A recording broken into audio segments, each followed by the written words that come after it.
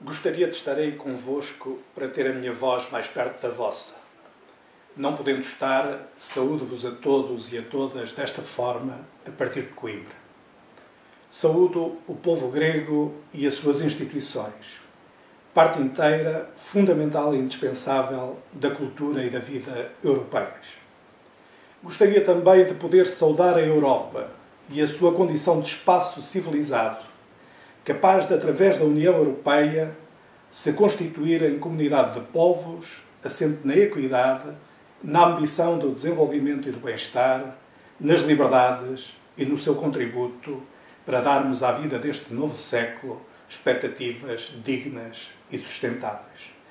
Mas isso não posso fazer, porque o projeto europeu foi usurpado por políticos autoritários desprovidos de visão e de capacidades democráticas, incapazes de receber, compreender e valorizar o passado de paz e de evolução positiva que outros construíram ao longo das últimas décadas. Esta Europa da paz, de apostas na coesão e de um desenvolvimento que as cinzas da Segunda Guerra não deixariam adivinhar, esta Europa está hoje desfeita violentamente amesquinhada por instituições sem cultura nem projeto, apenas detentoras de poderes que inventaram para si mesmas e que se auto-atribuíram de maneira ilegítima e insensata. Nunca, tenho esta convicção, nunca nenhuma realidade institucional se autodesfez tão desabridamente como se está hoje a desfazer esta União Europeia tomada por usurpadores que a controla.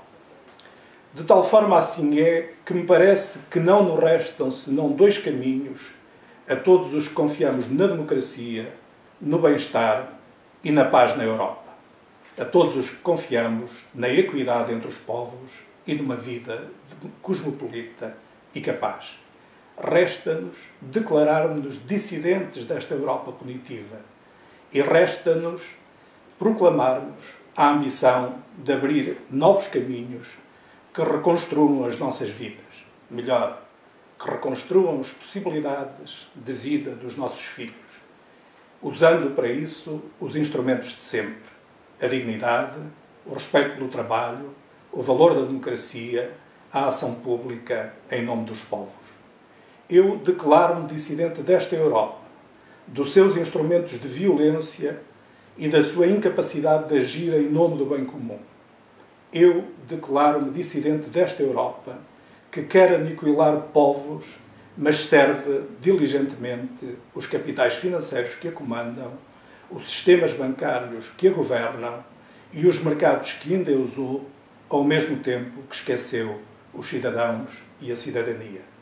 Eu declaro-me dissidente deste mundo de instituições incapazes e declaro que a minha ambição europeia tem hoje a voz da Grécia. Tem a voz da Grécia sujeita a esta inaudita pressão e a voz da Grécia que tomou em mãos falar por si mesma, democraticamente, e assim falar em nome da própria Europa que devemos reconstruir. A Europa que desistiu de falar de si tem de ter em seu lugar uma outra Europa a partir do domingo tudo o que se desfez nestes últimos anos de austeridade punitiva foi enormemente destrutivo.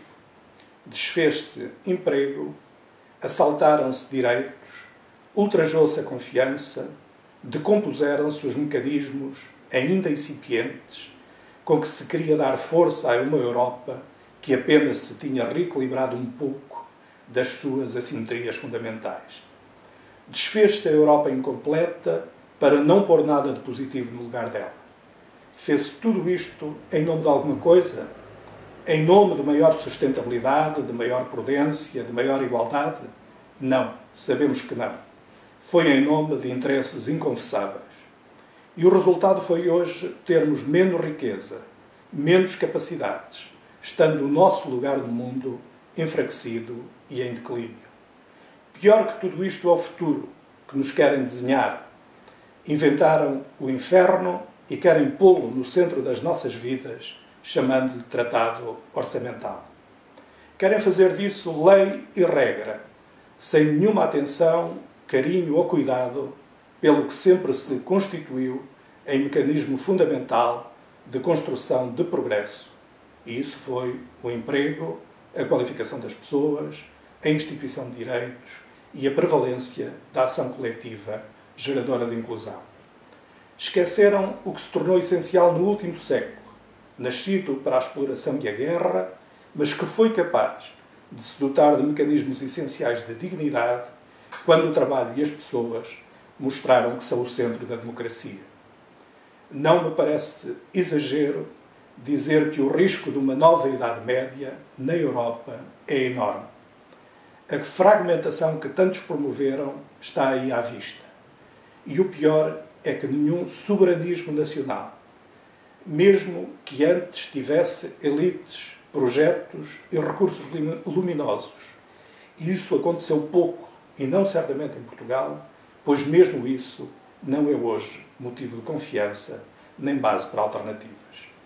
E por isso é uma nova construção europeia que temos de novo de iniciar. Vai demorar muito, é certo. Vai ser penoso. Vai ser o dilema em que nos colocaram.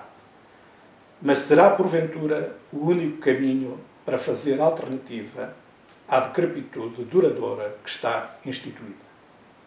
Não consigo afastar do meu pensamento um quadro imaginário, certamente próximo da realidade, em que burocratas de dedo no ar se atrevem, sem dar conta desse atrevimento, a dizer rudemente a um governo eleito, a um país inteiro, que tal ou tal imposto tem de ser menos ou mais 1%. Que tal ou tal data tem de ser um ano antes ou um ano depois. E que quem manda ali são eles. E a julgarem que é essa a condição europeia e o mandato europeu. Este autoritarismo não democrático é bastante mais do que uma atitude rude. É a demonstração clara da ausência de uma Europa que pense, haja e seja capaz de ser autora de si própria.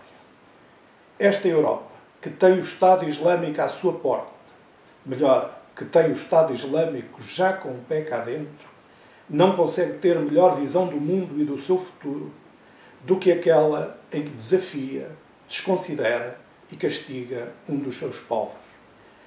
A Europa que se autoflagela não vê um palmo à frente do nariz. Se nada sabe fazer por si, o que saberá ela fazer no mundo? Todos sabemos que os problemas são já antigos e ficaram carimbados quando um euro defeituoso, que, que cooptou silenciosamente o projeto europeu em nome de todos os vieses monetaristas, foi instituído sem legitimidade democrática.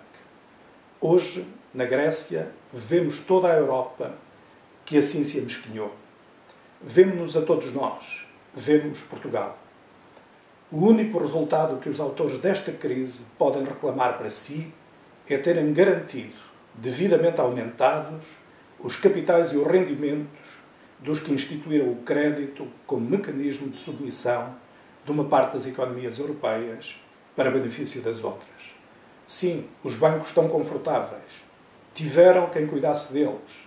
Outros cuidados não houve, nem sequer para reestruturar uma dívida todos sabem insuportável e limitadora. Falo por mim.